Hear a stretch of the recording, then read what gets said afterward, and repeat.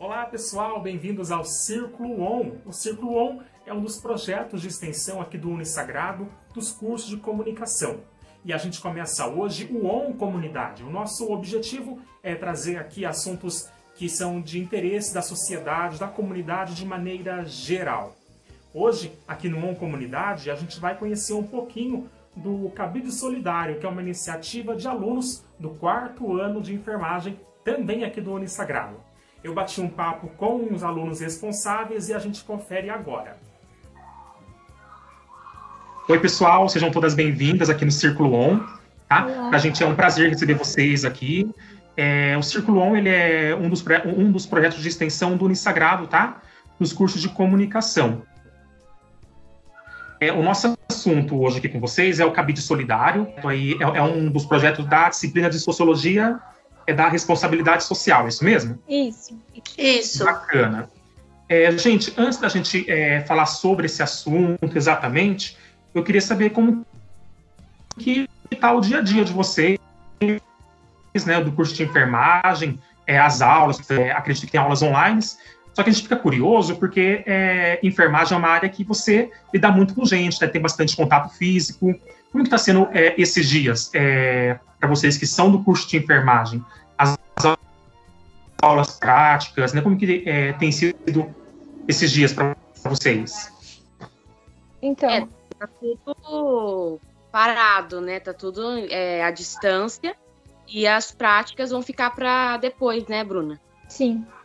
Pro outro semestre, só as práticas. Ai, bacana. Certo. É, nessa questão também, por exemplo, do curso de enfermagem, por que, que vocês escolheram esse curso? Queria entender um pouquinho da escolha de vocês. É, foi algo assim desde criança? Era um sonho? Alguém descobriu? Nossa, eu gosto dessa área, quero trabalhar é, na área de saúde. Como que foi essa descoberta do curso? Bom, eu vou falar por mim. É, na verdade, enfermagem era a minha última opção de curso. Minha paixão de criança, na verdade, era jornalismo. E- Verdade, olha, verdade. capaz de colegas de trabalho. E aí eu, assim, acabei optando por enfermagem, né? Por gostar do cuidado, do, do- dessa atenção com o paciente, né? Diretamente com o paciente. E aí eu optei por enfermagem mesmo. Bacana. Sempre gostei da área da saúde. Então eu fui, desde o ensino médio, eu fui assim, investigando os cursos, né? E depois eu vi que era enfermagem mesmo. Eu me inspirei na minha mãe, que depois de ela ter filho, tudo, casada, que ela voltou a estudar. Aí ela fez o técnico e agora ela trabalha na área. Aí eu me inspirei nela pra fazer enfermagem. Ai, que legal, de família, fui- então. Eu sempre fui apaixonada por hospital, desde pequena, sempre gostei. Então, sempre falei que eu ia trabalhar na área que fosse da saúde. E acabei optando pela enfermagem. Hoje sou apaixonada pelo curso. Não vejo a hora de me formar também, para começar a atuar com os pacientes, tudo. Fazer estágio também. Bem legal. Algumas de vocês já, já atuam na área ou ainda não? Ou já fez estágio, teve oportunidade já? Já fiz estágio. eu Eu também já fiz estágio. Bacana, gente. Olha, é, eu quero aqui aproveitar também já esse, esse momento, né, e agradecer e parabenizar, porque o profissional de enfermagem é uma das profissões que não pode parar nesse momento, né? É, não tem como fazer como é, home office, como nós jornalistas, né? Dependendo da função, a gente pode ficar em casa, mas o enfermeiro, a enfermeiro, enfermeiro né? Então, assim, parabéns para todos os profissionais, parabéns é, para essas pessoas, é, a saúde no geral, né? é, que estão aí realmente de, fala na linha de frente, né, é, na esse combate aí ao Covid. Então, assim, o nosso agradecimento a todos vocês, profissionais da saúde, tá bom? É, eu dedico até esse nosso programa, esse nosso Círculo On, On Comunidade, a, to a todos vocês. Obrigada. Imagina, Obrigada. gente. É, agora, agora a gente vai entrar no assunto mesmo, né, que é o cabide solidário. É, achei incrível essa ideia. Né? É, daqui a pouquinho eu vou tentar compartilhar é, com vocês aqui na tela, para o pessoal ver o, o Instagram de você, é, do, do projeto. Né? Eu queria saber como que surgiu essa ideia do cabide solidário, né? Quando a, é, foi proposta, né, alguma atividade social, como que surgiu essa ideia? Foi de um grupo, grupo de alunos é, de fora e vocês abraçaram a ideia? Na verdade, a nossa ideia surgiu da nossa colega Bianca, que deu essa ideia para gente.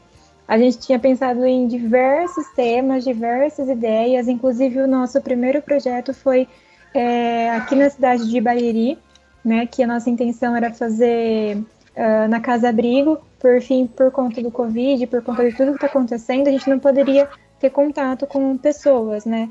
Então a gente é, precisou cancelar esse projeto e mudar totalmente o foco, né? Não, não totalmente o foco, mas é literalmente mudar o foco do nosso projeto. E foi a partir da Bianca que ela deu a ideia da gente fazer um cabide solidário.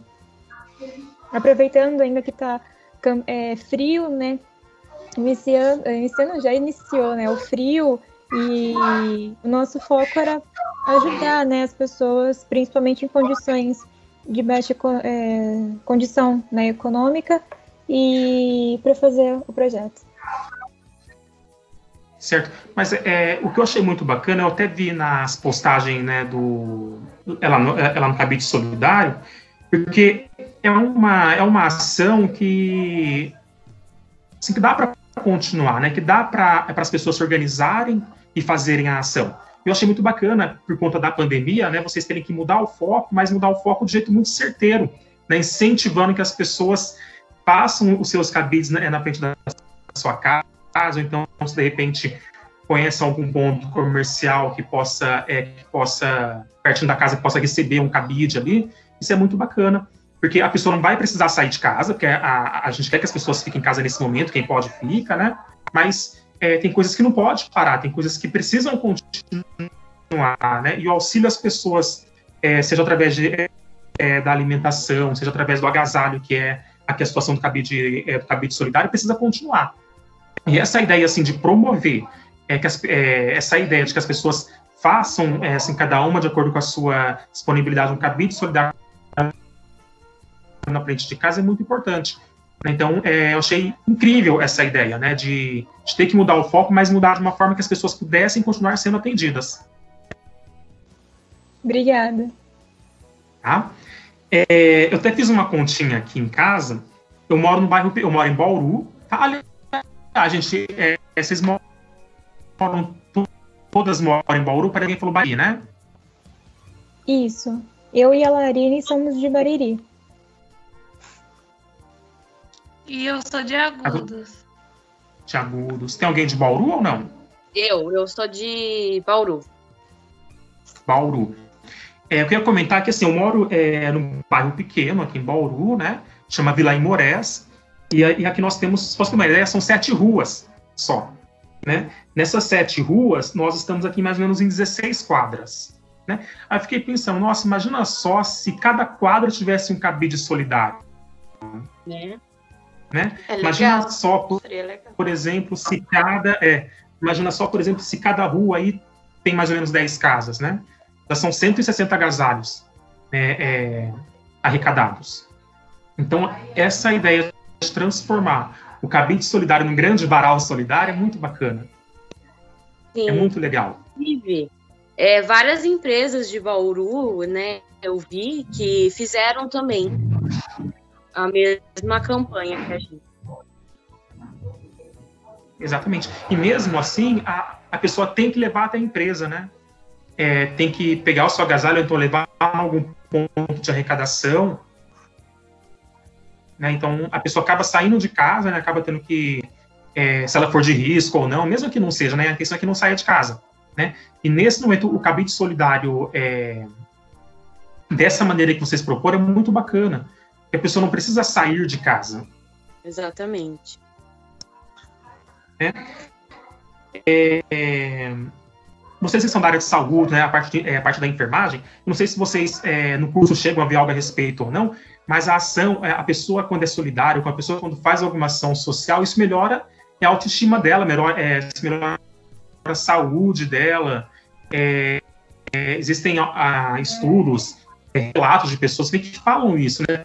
Eu, pratico algo de bom, quando eu pratico uma ação solidária, eu me sinto melhor. No curso de enfermagem, vocês é, chegam a abordar algo desse tipo? Sim, né? A gente tem que, principalmente a, a área da enfermagem, é a arte do, do cuidar, né? Então, a nossa profissão está ligada a, a, essa questão de, de cidadania, né?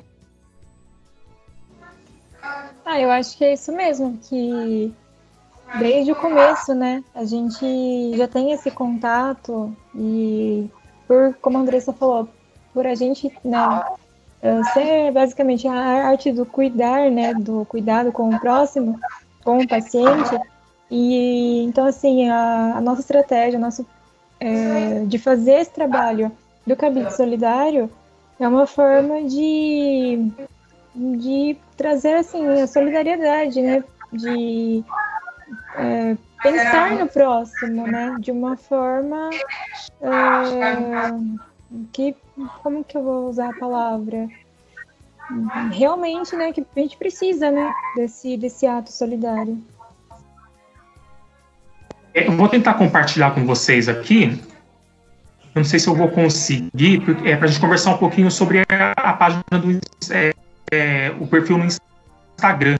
Então, só para isso, para explicar para o pessoal. Então, gente, isso aqui é o Instagram do pessoal, underline solidário, explicando, né, nós alunos do quarto ano da Unisagrado, né, do é, de enfermagem, né, e, e quando a, e tem todas as informações para a pessoa é, saber como ela pode colaborar, como ela pode ajudar. Vocês querem falar algo sobre, sobre a página?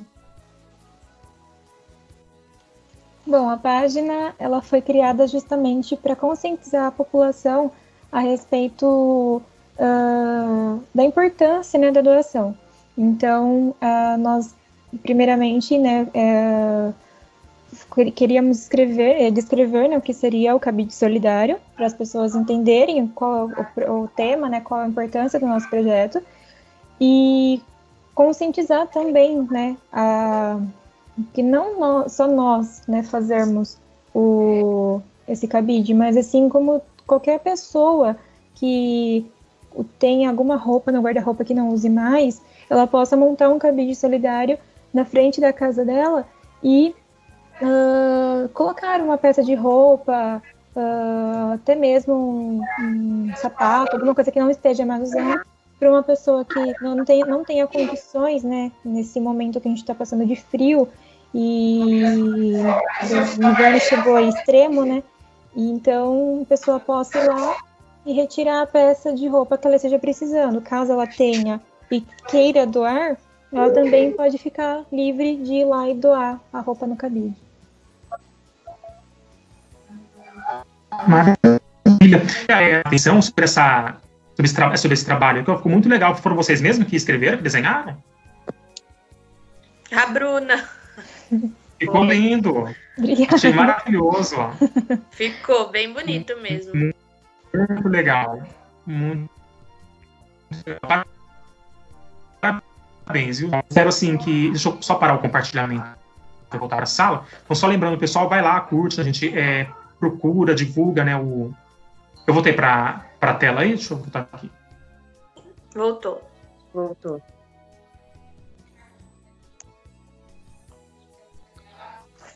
É, curtir e divulgar é, essa ideia do cabide solidário, né? Na porta de casa, ou então mais próximo dela na rua, é, na comunidade. É, para a gente poder já encerrar. Então, é, se vocês querem deixar alguma mensagem, alguma informação para as pessoas né, que estão aí nos acompanhando. É, eu acho que é interessante, mas assim, a gente que o pessoal siga a nossa página, né, para divulgação, que se conscientize, né, que tem como ajudar sim, mesmo a gente estando numa, numa pandemia, tem como a gente ajudar o próximo, tem muitas pessoas, os moradores de ruas estão na, na, nas ruas, eles não estão em quarentena em suas casas, né, e a gente está no inverno, né, vai, vai começar o inverno agora, então, é mais uma conscientização da população mesmo. E também para que quem for juntar-se com a gente nesse cabide solidário, postasse também e marcasse nossa página, que seria bacana para divulgação. Muito legal. Tá? E mais uma vez eu quero agradecer a vocês da enfermagem à disposição. Quando vocês escolhem é, essa profissão, né, e se colocam à disposição de continuar nela, né, mesmo vendo todo o risco que tem, isso realmente é um ato de muita coragem. Tá? Então, assim, muito obrigado, parabéns. Obrigada, agradeço. Obrigada. Obrigada. Tchau, gente. Tchau. Tchau. Tchau. Então, assim, muito obrigado, parabéns. Obrigada. Agradeço. Obrigada. Obrigada. Tchau, gente. Tchau. Tchau. Tchau. É isso aí, gente. Viu só que é, trabalho bacana? Vai na página do Instagram, é, do Instagram compartilhem, é, curtam o conteúdo, disseminem cada vez mais essa ideia. Muito obrigado de novo às meninas de enfermagem, ao, é, aos professores, enfim, todo mundo que participa de alguma maneira, não é verdade? Então, esse foi o nosso primeiro ON Comunidade. Muito obrigado a todos vocês e até a próxima.